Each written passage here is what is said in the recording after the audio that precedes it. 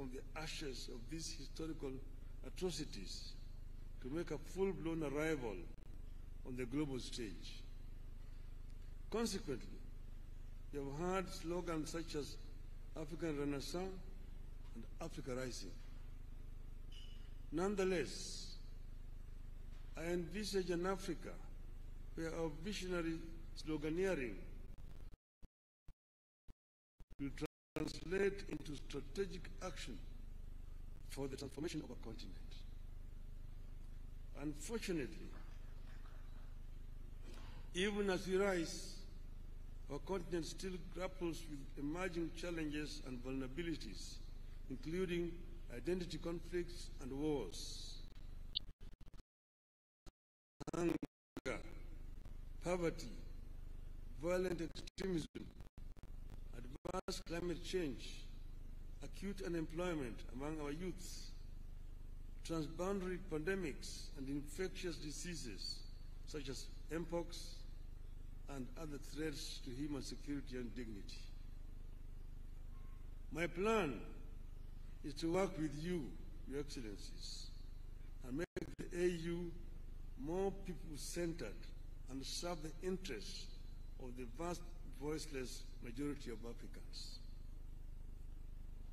The African people should feel the AU in their lives. Excellencies, if elected chairman, I propose to utilize the transition period to criticize, critically analyze the existing proposals for reforms and building capacity of the AU Commission. The ultimate aim is to follow up on the implementation of the reports so far formulated. Certainly, the story of Africa is not all gloom and doom. Thanks to the work Your Excellencies are doing, Africa has been on an upward and positive trajectory in recent years. In February, the African Development Bank reported that Africa will account for 11 of the world's 20 fastest growing economies this year. The continent is set to remain the second fastest growing region after Asia. I deeply appreciate your efforts in restoring hope on the continent. And it is my wish to have a chance to complement your efforts as AUC, AU chairperson. Excellencies, throughout my leadership and service to the public, I have noted the significance of defining strategic goals and appreciating the influence of political dynamics on the outcomes of these goals. So decision making must be backed by a balance between policy and geopolitics. I plan to work with you, Your Excellencies, to integrate this continent. You're one people who unfortunately are trying too hard to separate from each other. I have traveled the length and breadth of this beautiful continent, and I have seen the faces of Africa's future. I was involved in peace negotiations in Burundi with Mwalimu Nyerere. I was involved as the mediator of the AU with the conflict in Cote d'Ivoire. I was involved in Mozambique. So I understand the continent. And I see the faces of our children, full of hope and energy, and unbound by the borders of yesterday. I dream of an Africa where those borders and colonial languages no longer divide us. We don't want to see Africans to be divided as Anglophones francophones, lusophones. I want them to be Africaphones.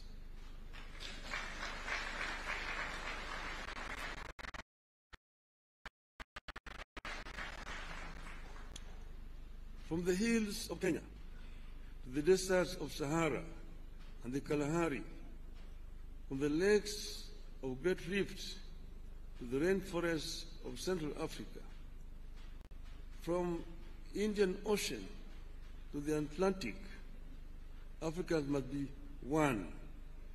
Its resilience and hope for a bright future transmitted to our young people. Excellencies, ladies and gentlemen, my selection to be Kenya's candidate is not about one man's ambition, but an African's journey to serve the motherland. Indeed, I plan to constitute my cabinet of chairpersons with a continental outlook. I'm grateful that friends and eminent persons across Africa have volunteered to engage in my campaigns from the West, North, South, Central, and of course, Eastern Africa. Excellencies, I'm ready to serve. My heart is ready and my hands are steady, and with your support, I shall get the opportunity to be of service to Africa, the cradle of mankind. I am made in Eastern Africa for Africa.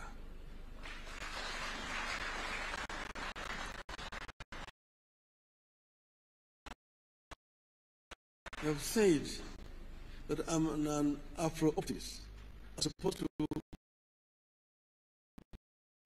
Afro-pessimists. Afro-pessimists are those people who have given up on Africa. Who say Africa is a lost cause, a wasted continent. But Afro-optimists are those people who believe in African development, that Africa can be developed with the efforts of the African people. This is what I believe in. I have come from the school that believes in the efforts of the founding fathers of our continent. Those who were visionary, who envisioned an Africa that was united. Kwame Nkrumah, Ahmed Sekou Toure, Gamal Abdel Nasser, uh, the late Emperor Haile Selassie, Jomo Kenyatta, Jaramogi Oginga Odinga, Mwalimu Julius Kambarage Nyerere, Kenneth Kaunda. Those were the founding, some of the founding fathers of our continent who believed that Africa will only develop if it is united. Nkrumah said that Africa must unite or perish. That is the school which I'm coming. To be able to realize the dreams of the founding fathers, first we need peace on the continent. In 2013, the, the of silence with the guns. But in 2024, the guns are not silent on the continent. We will work to ensure that guns are silent so that we can be able to have a peaceful development. Secondly, Africa is a victim of climate change. Africa today suffers from twin disasters droughts and floods, the continent.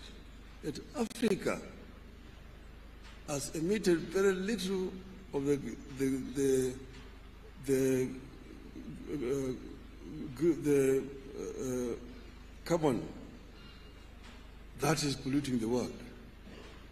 So Africa needs to be compensated. But this cannot, will not come if Africa goes to negotiate as individual countries. If you go and talk as Kenya, as Uganda, Tanzania, Nigeria, Mozambique, Egypt, or Algeria, the rest, those major offenders will not listen to us. But when we go and talk as Africa, they must listen to us and be able to get a fair deal in the issue of climate change. We also need to green Africa.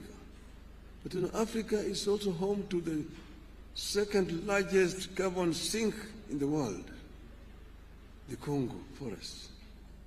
But how do we continue to green Africa, to arrest desertification, southern advance of Sahara Desert? These are issues, they are challenges which we are equal to. We can be able to deal with these issues effectively if you have got an effective organization in Addis Ababa.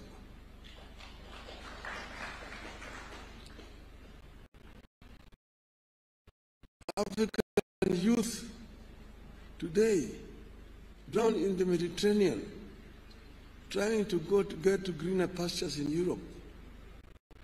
It's a shame. We must arrest this trend and ensure that we create a conducive environment within the continent here. That this youth do not have to go to Europe. And this will only happen if Africa works together as a, uh, as a united uh, continent. We know that Africa is one of the richest continents on planet Earth. It is a paradox. The richest continent is also the poorest in terms of living conditions of its people. This we must put to rest. We should not continue to blame those other people who have exploited the continent. We have the ability to reverse this, the, the, this trend and get Africa moving forward again. Therefore, we need to be able to ensure that Africa uses the resources that it has effectively. We need also to ensure that Africa also trades with itself. Africa is wasting a lot of time searching for markets where they put very unequal terms to our goods coming from Africa. The inter-African trade today stands at only 15%. Inter-European trade stands at 70%. Inter-Asian trade stands at 60%. Inter-South American trade stands at 35%. We need to ensure that Africa trades more with itself. We need to address the constraining factors. One, the, the non-tariff barriers which have been imposed by other African countries against goods from neighboring countries. More importantly, we need to address the issue of infrastructure, infrastructure development in the continent that will make it easier for African countries to trade with each other.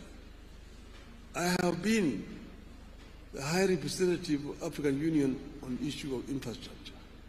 So I know the major challenges that Africa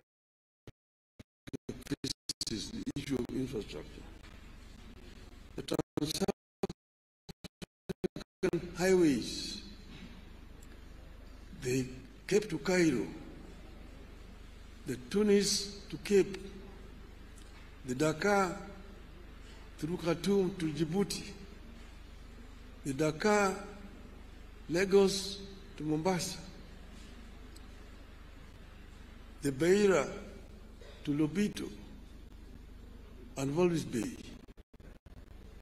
the high-speed railway network in the continent, which are, those are issues that require to be dealt with. The LAPSSET, the Lamu Port, South Sudan, and Ethiopia, that will continue through Bangui and go all the way to, the Cameroon port of Kribi, creating a land bridge that links the Atlantic Ocean and Indian Ocean and opening up the interior landlocked countries within the continent. These are some of the issues that can be dealt with and we'll deal with. Then connecting Africa through high-speed fiber optic network. And then to, facilitate faster communication. Then the issues of air transport. Air transport is a major challenge in the continent.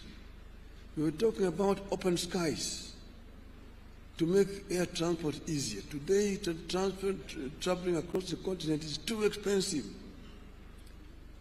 You have to get permits to fly over countries, delaying movements, and make it too expensive. Flying over Europe is much easier than flying over Africa.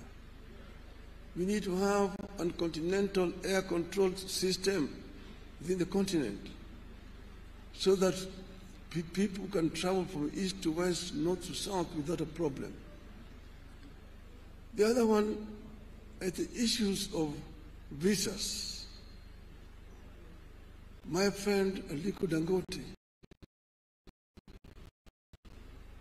says that for him to travel across the continent needs 35 visas. His French competitor does not need a visa to travel with a French passport in Africa. What a shame. In Europe, you only need a Schengen visa, and you can travel across the entire Europe without a problem. We will also ensure that we reach a stage where we can issue an AU visa and enable people to travel across the continent without much of a problem. I therefore want to conclude by saying that I am ready for Africa. And I believe in the story of the African lion. The lion is an African animal, is a king of the jungle. The Cameroonian national soccer team is called uh, the Indomitable Lions. The soccer team of Senegal is called the Lions of Teranga. The soccer team of Morocco is called the Atlas Lions. Here in Eastern Africa, we call it the Simba. The king of the jungle. When the king roars, the jungle listens.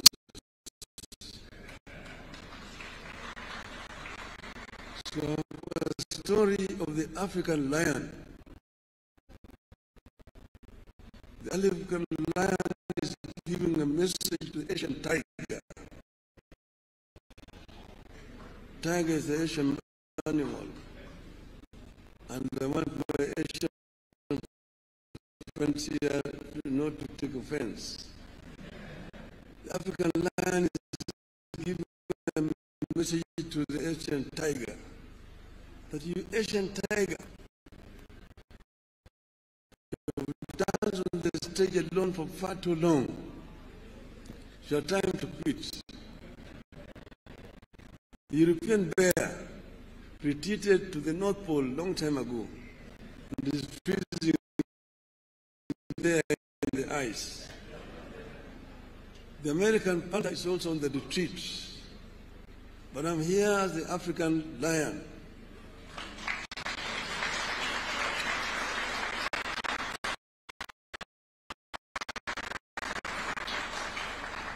I've been asleep in the jungles of the Congo, but now I'm awake. And I'm sitting on African gold,